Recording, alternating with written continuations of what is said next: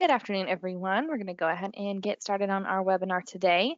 Just as a reminder, these webinars are intended for educational purposes only, and while we hope that you learn new information, keep in mind that the trainers presenting these webinars are not attorneys.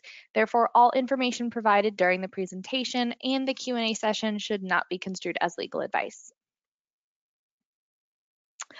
All right, well, with that out of the way, welcome everyone. Uh, today we are going to be talking about everything you need to know about hiring military veterans. Now, if you have any questions during the presentation, please feel free to type them into the question box and they will be addressed during the Q&A session at the end. So let's take a look at exactly what we're going to talk about today. So today we're going to be talking about the things that you need to know about hiring veterans, specifically with um, benefits of hiring a veteran, uh, anything specific that you need to know for your processes and procedures. We're also going to do some veteran myth busting and talk about some of the myths and uh, stereotypes that typically float around with hiring uh, former military personnel. And we're actually going to bust some of those myths today and provide you with some really great facts that you can take back to your organizations um, and use to help uh, and encourage your veteran hiring programs. And then we're going to talk about exactly what you need to know from a um, uh, obligatory standpoint, as well as just some good tips and tricks. And then we will end with a Q&A. So let's jump into our content today. All right, so let's start with some fast and relevant facts about veterans um, that you may be looking to hire in your organization. So did you know that more than 200,000 service members transition from the military to the workforce every year? Well, it's true, meaning that each year the labor pool is being flooded with military veterans ready to get started in a civilian career. However, as of 2020, the unemployment rate for Gulf War era veterans was at 7.3%. Now, the Gulf War era veterans are any and all veterans that have served since 2001. Now, this unemployment rate was affected by COVID 19, but the Bureau of Labor Statistics released in March of 2021 that there was actually no significant change to the unemployment rate of veterans with service connected disabilities. That rate always sits at around 6.2%, which is really high compared to the national average pre COVID.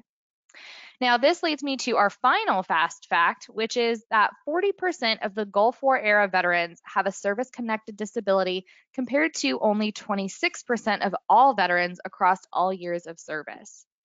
This means that the veterans between the ages of 38 and 54 in the workforce may have a service related disability, and it's important for employers to know how they can best hire and accommodate veterans in the workforce. Now, to give you some context, as of 2020, there were 18.5 million men and women civilian veterans in the United States. Many companies such as Lowe's, Home Depot, JP Morgan Chase, Raytheon, and even Intel make an active campaign towards hiring these men and women as they're leaving military life behind and entering the workforce. But why? Why is there such a targeted effort towards one specific group? In early 2017, the SHRM Foundation and the National Association of Veterans Serving Organizations found that despite some challenges in the short term, the long term positive outcomes outweighed the negative. And a lot of the time, they found that those short term challenges with hiring veterans were perceived by employers to be more challenging than they really were due to some negative perceptions and assumptions about service connected disabilities, which is why we're going to do some myth busting later to hopefully get rid of some of those negative perceptions and assumptions. Now, overall, their findings were overwhelming that organizations who made the effort to hire military veterans saw a vast return on investment in the form of overall improved performance and bottom line financials, along with improved leadership company wide and the creation of a more diverse and talent driven organizational culture. If you need more evidence, this is not just a recent trend. A study done in 2013 by the CEB Corporate Leadership Council found that veterans on average perform at higher levels and are less likely to turn over from companies, generating a more positive outcome for businesses. Now, the statement that has been, that has exemplified that was exemplified in a case study of an organization with 1,000 employees who increased their veterans new hire population by 25%, saved $325,000 a year in turnover alone, just by making the effort to increase their veteran hiring population.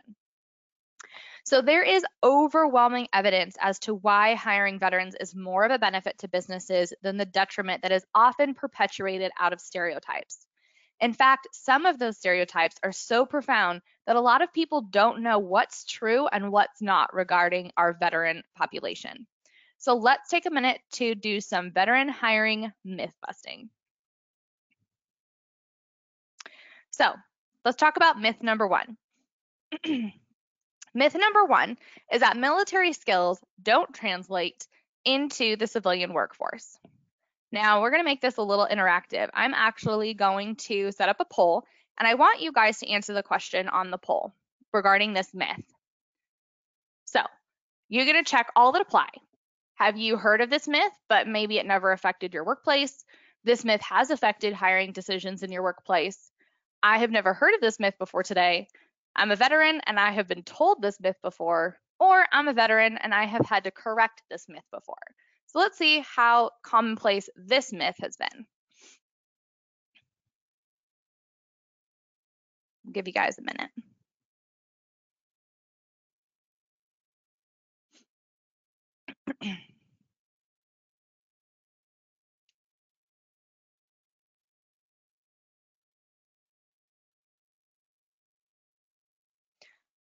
All right, let's go ahead and post the results. So it looks like about 40% of you have heard the myth, but it's never affected any hiring decisions. 40% of you also have never heard this myth before today. And then we've got about 20% who are veterans here who've been told about this myth before. And then we've got 10% who it has affected hiring decisions or a veteran who's had to correct these decisions. So this one's a really relatively well-known myth, um, and it has affected some hiring decisions, and some veterans are aware of this particular myth. So let's talk about why we're going to bust this myth. Here's the fact. It is actually well documented that veterans bring extensive leadership experience, mission level focus, teamwork, and initiative to the workplace, which all translates from their military skills. And here is an added bonus. Veterans generally receive a high security clearance for the work they do the first couple of years out of the military. Hiring a veteran with active clearance can save employers thousands of dollars and months of time in background checks, depending on your industry and security clearances needed for your organization. So this myth has been busted. Let's take a look at the next one. All right, here's the second myth. All veterans served in combat let's go ahead and post the poll. Let us know, check all that apply.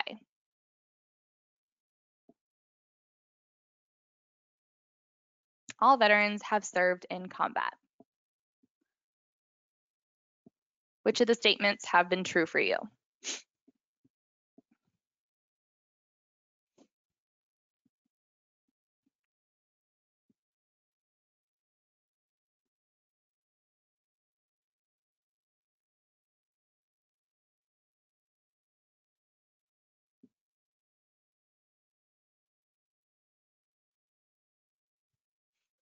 All right, I'm going to go ahead and close the poll and share the results. All right, so with this myth, about 38% of you have heard of it, but you it's never affected your workplace. 63% of you have never heard this myth before today, and 13% have both are, are veterans and have been told this myth and have had to correct this myth. Now, the reason this myth seem may not seem important to this particular topic, but it actually is, is the reason this myth is important is a lot of people assume that every single veteran saw combat, and so all veterans have some form of disability associated with that combat. And this is where it can become very frustrating um, for veterans and employers alike because employers are working under one assumption and veterans are working under a different reality. So here are the facts. A significant number of troops deployed to combat since 9/11 of 2001. However, there are many that never deployed or even saw combat. In fact, 80% of military jobs are non-combat occupations. So this myth is not true. And a bonus In those 80% of roles that are non combat occupations are common positions that you would find in your own businesses. Things like finance, logistics, administration, human resources, broadcasting, public relations, healthcare, and engineering are all common positions that are found within our military branches. So this myth number two has been busted. Let's take a look at number three. Myth number three is that all veterans have some level of PTSD and it makes them unemployable. So let's put the poll up. Choose what statements apply to this myth in your personal experience. You've heard about it, you've never heard about it, it's affected your hiring or decisions in the workplace, and or you are a veteran and you've had to correct it or you've heard about it before. Let's see where we stand on myth number three.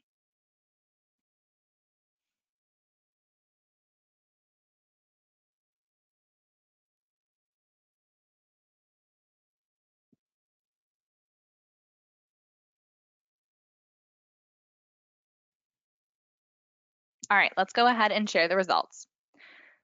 So about 50% of you have heard of this myth before, but don't believe it's ever affected your workplace decisions. 10% have heard this myth before and has affected hiring decisions in their workplace. 40% have never heard of it before, and 10% are veterans and have been told the myth as well as had to correct this myth before. All right, so let's bust this myth. Here's a fact Thanks to Hollywood, this stereotype has been perpetuated too much. Studies actually show that 10 to 20% of post 9 11 combat veterans have PTSD, which equates to approximately 550,000 veterans of the 18.5 million in the United States. Now, here is some perspective. To put this into perspective for you, 8% of non veteran civilians in America have some form of PTSD from an experience in their life, like a car accident, violent assault, or even a natural disaster. This equates to 26 million people in the United States that have some form of PTSD that's not related to any military service, way more than the veteran population. So, based on this information, you probably have multiple people in your workforce now that have some form of PTSD or trauma and you never even knew it. So, some of these forms of PTSD that are either veteran or non veteran related does not make people unemployable. So this myth has been busted. Let's take a look at two more. Here's myth number four. Veterans can only follow orders because that's what they were trained to do. Let's put up the poll, choose all the statements that you believe apply.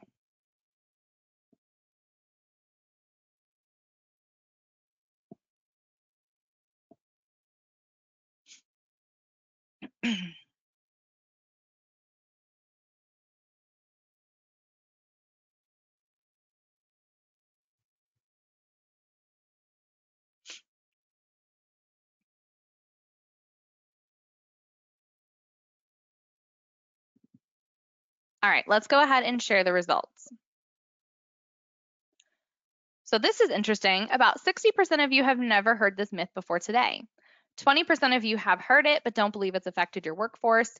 And the 10% that are veterans here that have been answering some of these questions have heard this myth and they have had to correct it.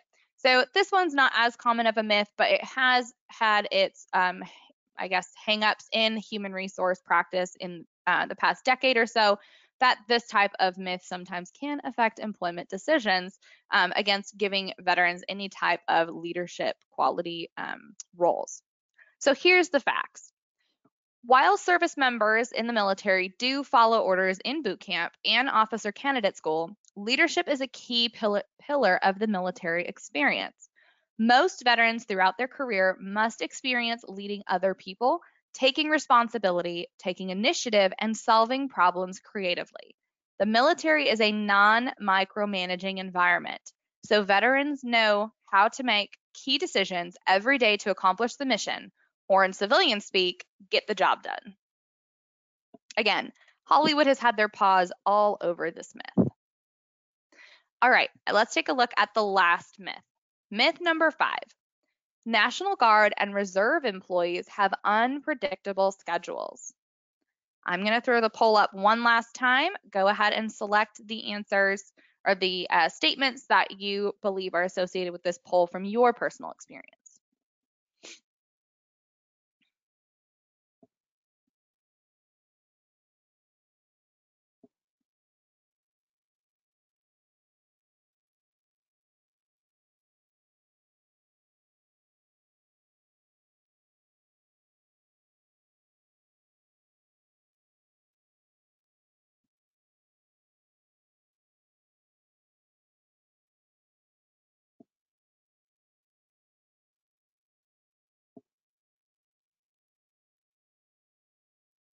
All right, let's go ahead and share these results.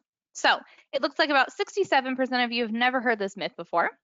11% have heard this myth, but it never affected the workplace. Another 11% has heard this myth and it has affected hiring decisions in the past. And 11% of us are in the Reserve or National Guard and they have had to correct this myth. This is actually a common one. I get a lot of questions about this myth when, with regards to hiring um, National Guard and Reserve employees because they are a little bit different than veterans. So let's take a look at some facts. Now, the typical training schedule for those who continue to serve our country is one weekend a month and two weeks in the summer. That's usually it. Training does not just pop up, and the details are usually made available to the employees months in advance. This is also true in the case of a scheduled deployment. However, there is the occasional active duty call in the case of natural disaster or emergency military deployments. But these are opportunities for your employees to service their communities by, and by extension, your community when they are needed. I'm not exactly sure where this myth comes from, but I'm glad that we busted it. All right, so now that we've busted these common myths, what do you need to know as employers? Employers should know how to interview veterans and train their managers to do so. Veterans are trained in the military not to boast about doing their civic duty. There is generally no room for egos in the military when it comes to their work. That being said, when you sit down to do an interview, you will need to ask specific, open ended questions to create a vehicle for veterans to talk about their relevant skills and experiences. Saying something like, walk me through your resume or tell me about your experience will not be as fruitful as with non veteran candidates. Be specific and ask questions exactly about what you want to know pertaining to their experiences.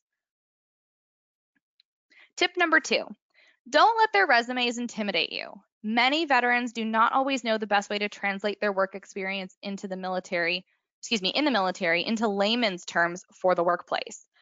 Most of them hope to do that during the interview phase. The best thing you can do is familiarize yourself with the military occupational codes, also known as MOCs, so you can better understand their resume and have good questions lined up for the interview. Use the preliminary phone interview if you have to to ask any questions about things you don't understand, or you can always look it up online. There are a lot of resources online for interpreting interpreting military resumes. It may take a couple extra minutes and a little extra effort, but based on what we've talked about with benefits that come from hiring veterans, it's definitely worth the work. Tip number three is to draft veteran friendly job descriptions. Try to shift your job descriptions from requiring years of experience to more competency based requirements. In the military, the way you promote is 100% based on competency and not time in service. They base it on how hard you work and how much time you put into your military career. So it may be difficult for them to translate their experience into years in the workforce. The military has high standards of competency to achieve a new rank. So if they have achieved the required competency in the military, they will be able to perform in the workforce just fine, regardless of their years of experience. The next tip is to understand your obligations as employers for things like USERRA, FMLA, and VEVRA if they apply to the veterans you're hiring. It's important to understand that National Guard and Reserve employees have different employer obligations that apply to them when they go off for training or required or, or they are required uh, to take a military base leave of absence.